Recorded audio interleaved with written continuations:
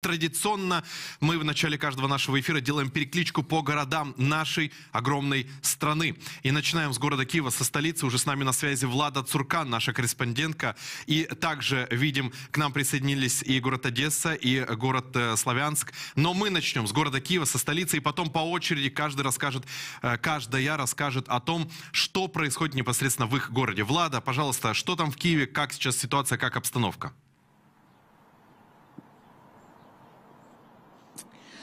Коллеги, накануне в Киеве вечером звучали воздушные сирены. В районе Одесской трассы силы противовоздушной обороны успешно сбили крылатую ракету, которая летела в направлении столицы. В целом ночь прошла э, спокойно. Правда, в некоторых районах Киева была слышна работа ПВО. Э, сбивали беспилотник вражеский. Э, в целом сейчас ситуация в городе спокойная. Люди стараются жить прежней жизнью. Давайте послушаем. Дуже подобається, що місто просинається. Очень нравится, что город просыпается, но это все благодаря только нашим защитникам и защитницам. И мы только им обязаны этим спокойствием и этой весной. Дуже хочу, щоб все завершилось. Очень хочу, чтобы не было взрывов, потому что мы слышим, как в области взрывают мины. Это тоже очень страшно. Сама я из Харькова, и у нас там жесть. Очень хочется вернуться домой. До повітряних тривог неможливо звикнути. К воздушным тревогам невозможно привыкнуть, но их стало гораздо меньше. Нужно жить каждый день и радоваться тому, что мы живы. Война, да, есть, но нам надо ее прожить, и, безусловно, надо находить дела. Они есть.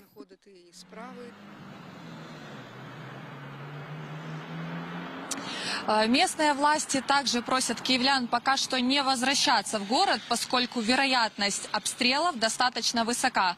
Ну а сейчас э, моя коллега Алена Грамова расскажет о ситуации в Славянске. Доброе утро, коллеги. Ну, я больше, наверное, расскажу о ситуации в Донецкой области. Так вышло, что сейчас мы находимся в Славянске. Дело в том, что сегодня прогремело три мощных взрыва. Это было без пяти часов, 8 утра, почти 8 утра. И мы слышали о том, что э, под обстрелы попало несколько жилых кварталов. Поэтому а, после съемки эвакуации, о чем я подробно вам расскажу, а, мы приехали в город Славянск для того, чтобы оценить а, масштабы этих обстрелов. Начну, наверное, а, с самого самого начала, с того, что случилось за минувшие сутки. А, на самом деле, с момента произошедшей трагедии на железнодорожном а, вокзале в Краматорске, а, вот вчера именно погибло максимальное количество людей вот с того дня. То есть 21 человек в области за сутки погиб. Всего 315 а, погибших а, в области. Но в эту цифру, хочу сказать, не включена, а, не включена цифра погибших, пострадавших в Волновахе и в Мариуполе. 21 человек за сутки в Донецкой области, 10 из них, вы знаете, о том, что э, вчера был обстрелян коксохимический завод э, в Авдеевке, и люди просто находились э, вблизи завода на остановке, ждали рабочего автобуса, который развозил их по домам, и э, был, а, была обстреляна эта остановка. Таким образом погибло 10 э, работников коксохимического завода. Кроме того, есть погибшие в Лимане. Хочу напомнить, это одна из горячих точек на сегодняшний день в Донецкой области. Именно здесь мы снимали эвакуацию. Но все же, возвращаясь э, к тем районам, которые по-прежнему обстреливаются и обстреливаются активно, это Очеретинская громада, это Марьинское направление, это направление Изюма, все населенные пункты, которые находятся а, вблизи Светогорска, и это Лиман. Ну и, конечно же, Авдеевка, которую не прекращают оккупанты обстреливать каждый день. На жаль, сьогодні маємо К сожалению, сегодня есть погибшие, раненые мирные жители. В связи с этим все-таки вы видите, что ситуация обостряется. Прилеты по центру города, скоплению людей, просьба меньше находиться на улице, ближе к укрытиям. Ну а в целом в который раз призываю эвакуироваться из города. В Донецкой области нет ни одного города, коллеги, э, где бы главы военных администраций либо главы э, городских советов не призывали эвакуироваться. А, С этим очень все сложно. После трагедии на железнодорожном вокзале такая была тенденция. Две недели люди ну, фактически не покидали свои города, боялись обстрелов. Однако спустя две недели вновь эвакуация а, продолжилась. Ну и сейчас мы вновь имеем такую ситуацию, что люди не хотят выезжать и покидать свои города, даже те населенные пункты, которые находятся практически под постоянными обстрелами. Это сложная ситуация. А, Даже на своей странице а, в Фейсбуке глава а, города Краматорска Александр Гончаренко буквально недавно заявил о том, что пустой ушел э, поезд из Покровска эвакуационный, то есть ни единого желающего человека а, не было для того, не было э, желания у людей эвакуироваться. В общем, с этим а, с этим ситуация непростая. Несколько э, минут назад, э, нет, около часа назад мы общались э, с людьми, которых удалось эвакуировать из э, города Лиман. Это горячая точка. Сейчас мост между а, Лиманом и населенными пунктами вблизи Славянска разрушен, поэтому сложно людей эвакуировать. И сами люди после эвакуации сегодня плакали и рассказывали о том, что они фактически под обстрелами покидали свой город. Поэтому у нас все главы городских советов и военно-гражданских администраций людей все-таки призывают эвакуироваться. Что касается прорывов, то действительно это тоже максимальное количество попыток прорваться оккупантов э, через э, наши позиции, позиции украинских военнослужащих, их за сутки было 12. Ну и когда попытки ни к чему не приводят, они просто продолжают обстреливать мирные города. Так сегодня случилось и в Славянске. А, по предварительной информации было нанесено три ракетных удара, пострадавших нет. А, мы дальше следим за информацией, которая происходит у нас в области. А я хочу передать слово своей коллеге Анастасии Волковой, а, которая находится в Луганской области. Ну и, конечно, ситуация прощения, Одесса, Одесса, э, на связи Виктория Синко, слово ей, она расскажет о ситуации в Одессе. Добрый день, коллеги. Российские войска продолжают активно обстреливать Одесскую область. Вчера одесситы снова слышали мощные взрывы в городе. По информации оперативного командования «Юг», э, российские войска нанесли ракетный удар тремя ракетами но наши ПВО их удачно сбили. Тем не менее, вечером также было тревожно, неспокойно. Достаточно длительное время звучала воздушная тревога, и в это время враг попытался снова обстрелять э, наши позиции, э, наши области двумя ракетами. И городской глава Арциза сообщил о том, что есть попадание в инфраструктурный объект. Э, к счастью, обошлось без жертв и пострадавших.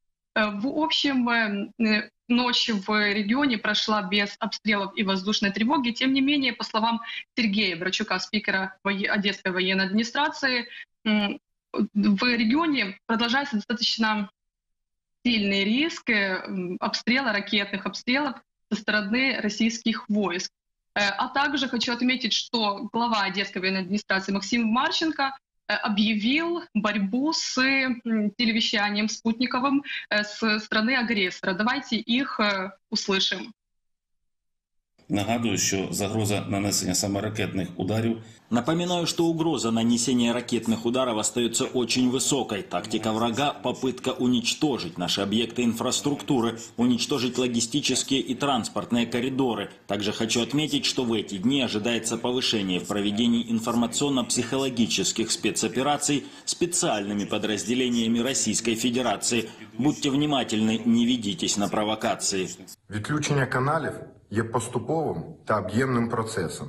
Отключение каналов является постепенным и объемным действием. Сейчас с помощью западных партнеров мы делаем шаги по отключению спутников, которые арендуют российские телекомпании. Создаем альтернативу этим каналам, увеличивая покрытие цифрового телевидения. Пропаганде врага не будет места на территории Одесской области. Ну и стоит отметить, что также не стоит ожидать открытия, открытия пляжного сезона. Его отстрочили до победы. Э, военные не собираются, пока длятся военные действия, разминировать пляжи. Поэтому и в Одесской военной администрации отмечают о том, что пока нет места для отдыха. Эм, также стоит отметить, что враг э, продолжает активно проводить разведку в нашем регионе, но наши ПВО достаточно справляются с э, тем, э, чтобы их э, обезвреживать. Так, два дня подряд эм, наши ПВО сбивали российские новейшие беспилотники типа Форпост. Это такой беспилотник, который может не только осуществлять разведку, но и эм, осуществлять ударные, наводить так на объекты. Его особенность в том, что он может работать на высоте 5 километров на протяжении 16 часов, и дальность его действий 400 э, километров. Что ж, дальше будем отслеживать ситуацию в Одессе и области, пока без э, обстрелов. И я передаю своей коллеге слово Анастасии Волкова. Да, коллега. На Луганщине ситуация, как говорит руководитель области Сергей Гайдай, остается стабильно тяжелой. Российские наемники обстреливают горскую громаду, Попасную, Северодонецк, Лисичанск и Рубежное. За прошедшие сутки вооруженные силы Украины отбили 12 вражеских атак. Армейцы уничтожили 6 танков, 5 артиллерийских систем, 15 единиц бронетехники и 9 автомобилей противника. Ежедневно чиновники просят местное население эвакуироваться, чтобы избежать большого скажем, числа жертв. Нам удалось снять один из э, таких эвакуационных рейсов. А, Мы стали свидетелями, как родители отправляют своих детей в более безопасные уголки Украины, а сами остаются жить в подвалах города, который практически ежечасно оказывается под огнем оккупантов. Предлагаю посмотреть. Приедем, бабушку досмотрим и обязательно поедем. Все будет добро. Все будет хорошо.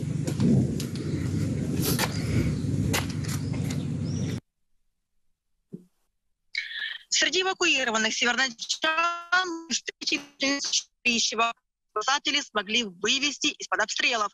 82-летняя женщина не смогла сдержать эмоций. Все здесь нормально, люди очень хорошие, добрые, все, все друг другу помогают, взаимопомощь. Я очень довольна. А сейчас еду, потому что я в Щедрищево живу. Крыша вся уже побитая, все стекла выбиты. Живу у нас старый там стоял, стекла все повыбивало. Напротив дом разбитый, дальше сгорел половина Щедрищева, все разбито, уничтожено. Сколько людей, один мужчина по, по улице э, этой, Кирова пошел, это, что-то кран воды, что-то набрать, и ему голову снесло в этот момент. Там пошли рядом же кладбище, похоронили, там закопали. Всякие, ой, тяжелое время наступило, ужасное. Я не знаю, как это Путин, что у него там в голове. Непонятно. Как он может уничтожать. Господи, Господи, Господи, дай, дай Бог, я вижу, как нервы на пределе. Коллеги, сейчас вы можете слышать э, взрывы, а, вдалеке идут э, боевые действия. А, На сегодня в подвалах Северодонецкой общины остаются около 20 тысяч мирных жителей. До войны эта цифра составляла более 130 тысяч. Люди до сих пор не желают эвакуироваться и надеются пересидеть войну, отсутствие света, газа, воды и крыши над головой. Российская армия уже уничтожила около 70% города. Ну, люди, можливо, Ну, люди, возможно, боятся ехать, но самые активные выехали те, кто хотели. После сильных обстрелов количество желающих увеличивается. 20-30 человек, когда меньше, как сегодня, например, 5 человек. Один раз был один человек, и мы его вывезли. И было такое, что вывозили по-всякому. Было, например, 4-5 рейсов в Новозолотаревку, и там оставалась одна бабушка с кошечкой, и ее эвакуировали. Общей сложности за один день эвакуации, который мы смогли снять, удалось вывести около 50 жителей региона. Людей эвакуируют в Днепро, либо же западные регионы Украины. Там помогают с размещением, питанием и оказывают медицинскую помощь. Я передаю слово вам, Алексей.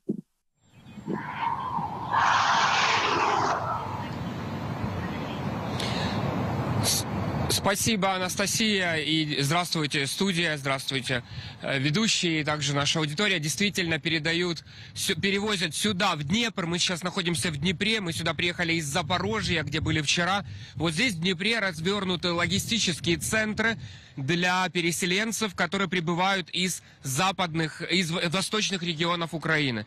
И э, эти центры, в принципе, имеют все необходимое для не только первой помощи людям из Донбасса, людям из Крыма, из южных областей, но и на более долгосрочное пребывание здесь. Мы были вчера в Днепре в местном общежитии, которое полностью перестроено под э, пребывание переселенцев, а также побывали в Запорожье, которое сегодня является окном в свободный мир Не побоюсь так вот пафосно сказать, потому что именно так выглядит сегодня город Запорожье, как э, окно в большую Украину. Почему? Потому что боевые действия ведутся уже и на территории Запорожской области, которая граничит с Донбассом, с Донецкой областью. Люди из приграничных, вот к административным границам э, Запорожской Донецкой областей, из этих приграничных районов и поселков пытаются выбраться в безопасные места, и таковым хабом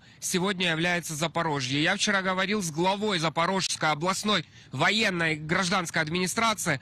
Он сказал, что в области сирены ежедневно. Мы вчера также, как когда приезжала колонна людей из Мариуполя, из Азовстали, стали свидетелями того, что когда колонна двигалась, сирена начала вопеть просто по всей трассе, как двигались эти машины. И когда мы находились на парковке, люди, приехавшие из Мариуполя, на это совершенно не обращали внимания. Они говорят только о том, что они не слышат взрывов, и земля под ногами у них твердая. Для них это важно, потому что, сидя в подвалах того же, той же Азовстали, многие переживали вот эти вибрации, шатания всей конструкции, и каждую минуту думали только о том, как уберечь себя. В большом репортаже, который будет дальше в эфире, я надеюсь, нашего канала, все это подробно собраны нами, высказывания, мысли, оценки, первые комментарии тех, кто выбрался из Азовстали. Ну а мы здесь будем работать дальше в южном направлении Украины. Это Днепр, это Запорожье, это Николаев, это Кривой Рог, это Херсон, это Одесса. Мы здесь постараемся для нашей аудитории собрать максимально полную картину ежедневного информирования. Недавно в Николаеве была наша коллега, журналистка э, э, Анастасия Жук. Она передала ту атмосферу, в которой сейчас пребывают и находятся там люди. Ну а в Днепре, видите, за моей спиной жизнь идет своим чередом. Город э, оборудовал массивные логистические центры, хабы для э, передачи гуманитарной помощи по всей территории страны. Здесь действительно и местная городская власть, и областная власть, они, по-моему, перестроили весь свой план работы исключительно только на то, чтобы помочь людям Востока и Юга Украины пережить это время более безопасно, более комфортно. На улицах города Днепра пробки, все основные магазины, торговые центры работают. До Запорожья отсюда ехать ровно один час, и там тоже жизнь идет своим чередом, несмотря на то, что иногда слышны взрывы. Вчера мы также стали свидетелями и слушателями, скажем так, взрывных э, звуков, но оказалось, что это ПВО, украинская противовоздушная оборона, справляется с вызовами ежедневно и ежедневно становится сильнее благодаря, конечно, в том числе активности президента Владимира Зеленского, который наверное, каждый час посвящает э, только одному вопросу – безопасность, целостность Украины и мирное наше будущее. Именно благодаря центральной украинской власти и усилиям Зеленского, вы помните, была встреча его с главой ООН Гутерришем. Вот после этой встречи произошла эвакуация людей из Мариуполя. Вчера было, по-моему, 150 человек эвакуировано в Запорожье. Каждый день какие-то эвакуационные э, караваны движутся с востока. Каждый день люди э, находят новые укрытия, убежища, в том числе здесь, в Днепре, едут кто-то дальше в западные области, кто-то за границу. Но это выбор человека, куда ехать, где быть, с кем проводить время и так далее. К сожалению, те, кто находятся на оккупированных территориях, иногда такого выбора не имеют, и их как э, свидетельствуют некоторые из Мариуполя, особенно первой волны эвакуации, им просто не давали такой возможности и права даже уехать в сторону Украины. Сейчас ситуация из-за международного давления и влияния Киева изменилась, и группировки э, прокси России на Донбассе уже побаиваются, побаиваются людей в одностороннем порядке отправлять только в Россию. Все-таки все, с кем я вчера говорил, подтверждали, что, выйдя из Азов стали, их отправляли в фильтрационные лагеря в Безыменное, где спрашивали, вы хотите в Украину, вы хотите в Россию, вы хотите в республике, как они говорят. Конечно же, большинство едет домой, в Запорожье, в Большую Украину. Здесь все. Здесь и, и родственники, и деньги, и паспорта, и права, и возможности. Открытый весь мир для всех, независимо от прописки. Алексей, спасибо большое. Также хочу сказать огромное спасибо всем нашим журналистам, журналисткам, которые работают на передовой, работают в военное время и доносят нам информацию. Алексей Мацука, шеф-редактор канала, украинского канала и навещания UA. Анастасия Волкова, наш корреспондент э, непосредственно из Северодонецка. Виктория Синько из Одессы и Алена Грамова с нами была также из э, города Славянск. И Влада Цуркан из города Киев. Спасибо вам большое, коллеги, за такую перекличку по всей Украине.